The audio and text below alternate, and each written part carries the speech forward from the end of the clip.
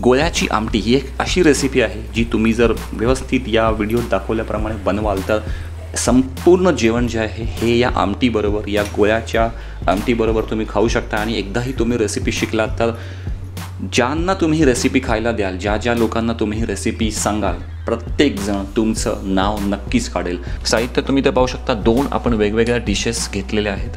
आणि जी छोटी डिश आहे त्याच्यामध्ये तुम्ही पाहू शकता की धने आहेत हिंग हळद मी कढीपत्ता मिरच्या जिरं कोथिंबीर घेतलेली आहे. आणि दुसऱ्या वाटीसुद्धा काही गोष्टी कॉमन आहेत जसं की एक वाटी छोटी वाटी धने घेतलेले आहेत थोडंसं तेल घेतलेलं आहे खोबरं किसून घेतलेलं आहे मिरच्या कांदा थोडासा चिरून घेतलेला आहे जिरं आलं लसूण पुन्हा एक वाटी ते कोथिंबीर वेगळी घेतलेली आहे आणि डाळ भिजवून घेतलेली आहे. हे आपलं पूर्ण साहित्य असेल. आता सर्वात पहिली स्टेप म्हणजे एक मिडियम अशा किंवा कमी अशा गॅसवर एक कढई किंवा टोप ज्यात तुम्ही हे साहित्य बनवू शकता असं अशी कढई किंवा असा टोप गॅसवर थोडा गरम करण्यासाठी ठेवून द्या. आणि नंतर या रेसिपीमध्ये जितकंसुद्धा आपल्याला प्रोसेसिंग करायचं आहे ते जवळपास सत्तर ते ऐंशी टक्के प्रोसेसिंग आपण मिक्सरमध्ये करणार आहोत. आणि उरलेलं तीस टक्के हे आपलं गॅसवर असेल. तर तुम्ही इथे पाहू शकता सर्वात पहिलं म्हणजे जी आपली छोटी डिश होती त्याच्यातलं जे सुद्धा साहित्य आहे ते आता आपण प्रोसेस करण्यासाठी घेऊ. पण त्याच्या आधी जी भिजलेली डाळ आहे ती आपण घेतो आहे. मिरच्या आपण इथे मोडून घेतो आहे. आणि एक एक करून जितकंसुद्धा साहित्य या छोट्या डिशमध्ये आहे हे आता आपण सर्वात पहिलं मिक्सरमध्ये प्रोसेस करू.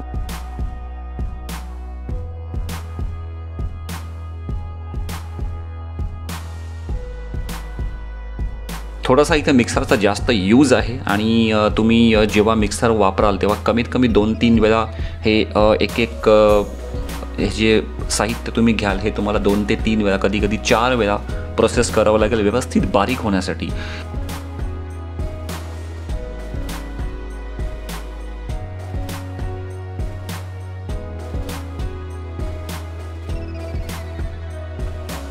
इथे तुम्ही पाहू शकता एक चटणीसारखा थोडासा फॉर्म या साहित्याला यायला लाग लागेपर्यंत हे जे साहित्य आहे आपण बारीक करावं. जवळपास तीन चार वेळा मिक्सर यूज होईल. आणि जी पहिली स्टेप आहे ही आपली झालेली आहे. एक चटणीच्या फॉर्ममध्ये हे सर्व साहित्य झालेलं आहे जे आपण वेगळं आता काढून घेतो आहे.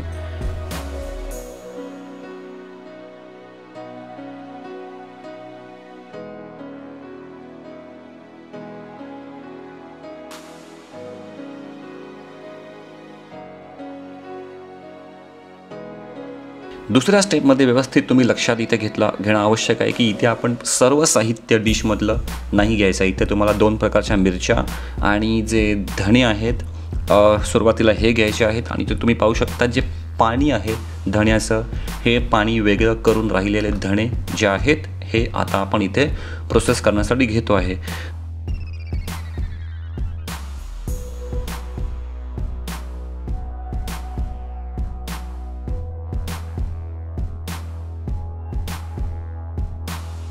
त्याचबरोबर जिरं आलं आणि लसूण ह्या तीन गोष्टी आपण या प्रोसेसिंगसाठी घेतलेल्या आहेत. आणि बाकीच्या ज्या गोष्टी आहेत या आपण पुढच्या प्रोसेस प्रोसेसिंगसाठी ठेवून द्याव्यात. आणि पुन्हा एकदा आपल्याला मिक्सरकडे ही प्रोसेसिंग मिक्सरमध्ये करावी लागेल.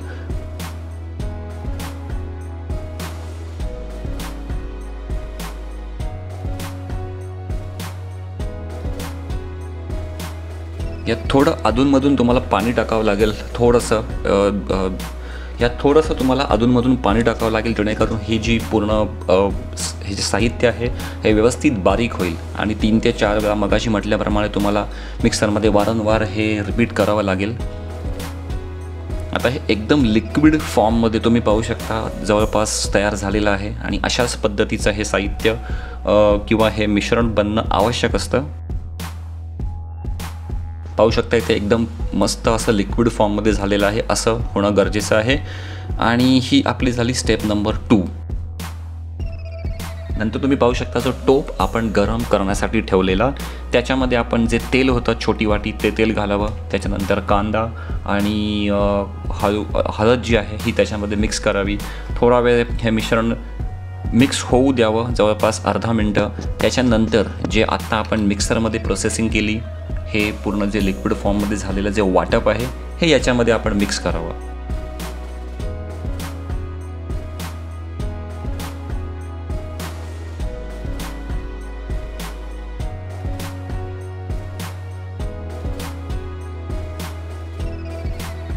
थोडंसं याच्यात पुन्हा मिक्सरच्या भांड्यात पाणी घालावं जेणेकरून व्यवस्थित जे भांड्यामध्ये राहिलेलं सर्व मिश्रण आहे हे व्यवस्थित आपल्याला या टोपामध्ये घेता येईल.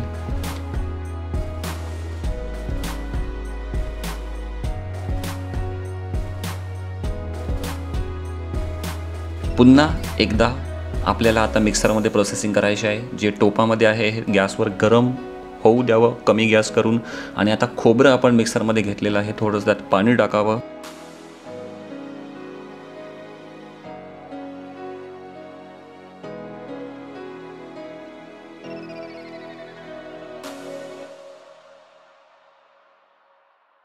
त्याच्यामध्ये चिंच आपण मिक्स केलेली आहे. आणि हे पुन्हा खोबरं चिंच हे जे मिक्सर आहे मिक मिश्रण आहे हे आपण आता बारीक करतो आहे मिक्सरमध्ये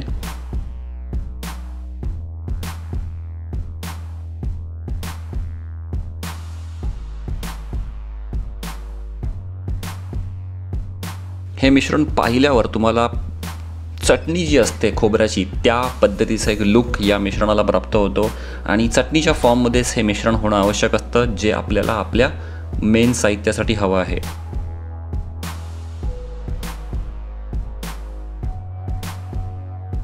आणि जे आपलं साहित्य गॅसवरती गरम करत ठेवलेलं आपण हे व्यवस्थित ढवळावं.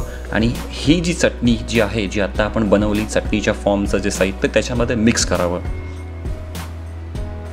थोडं त्यात मिक्सरच्या भांड्यात पाणी टाकून घ्या जेणेकरून सर्व मिश्रण आपल्याला टोपामध्ये काढता येईल.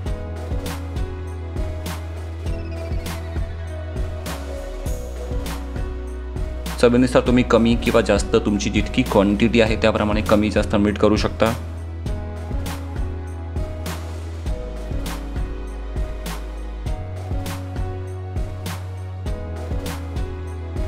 कढीपत्त्याची पानं आहेत ही सुद्धा याच्यामध्ये आपण मिक्स केलेली आहेत. आणि हे जे गॅसवरचं मिश्रण आहे हे जवळपास एक चार ते पाच मिनटं तुम्ही व्यवस्थित गरम होऊ द्या.